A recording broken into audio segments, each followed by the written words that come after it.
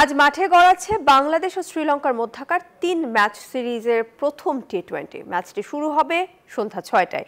এ বিষয়ে বিস্তারিত জানাতে সিলেট থেকে যুক্ত হচ্ছেন আমাদের সহকর্মী সুখন সরকার। সুখন আজকের এই প্রথম টি টোয়েন্টিতে বাংলাদেশ দলের একাদশ কেমন হতে পারে? আর সিলেটের ভক্ত সমর্থকরা কি বলছেন এই ম্যাচ নিয়ে?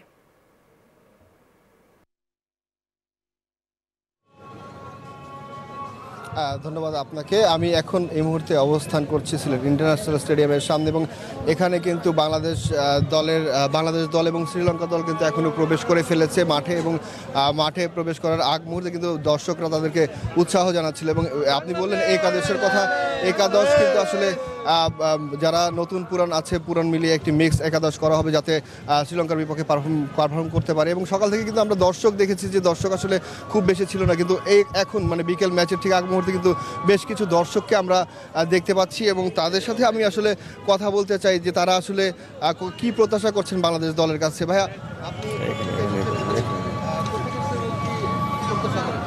জি, প্রথমে ধন্যবাদ জানাচ্ছি নিউজ টোয়েন্টি ফোরকে আমরা সুদূর চাঁপাইনবাবগঞ্জ থেকে, চাঁপাইনবাবগঞ্জ রাজশাহী থেকে আমরা এই খেলা দেখার জন্য সিলেট ইন্টারন্যাশনাল ক্রিকেট স্টেডিয়ামে এসেছি।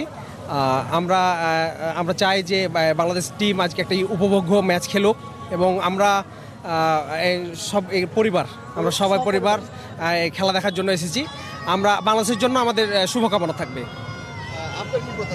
আমাদের প্রত্যাশা হচ্ছে আমরা খেলাটাকে সুন্দরভাবে উপভোগ করতে চাই।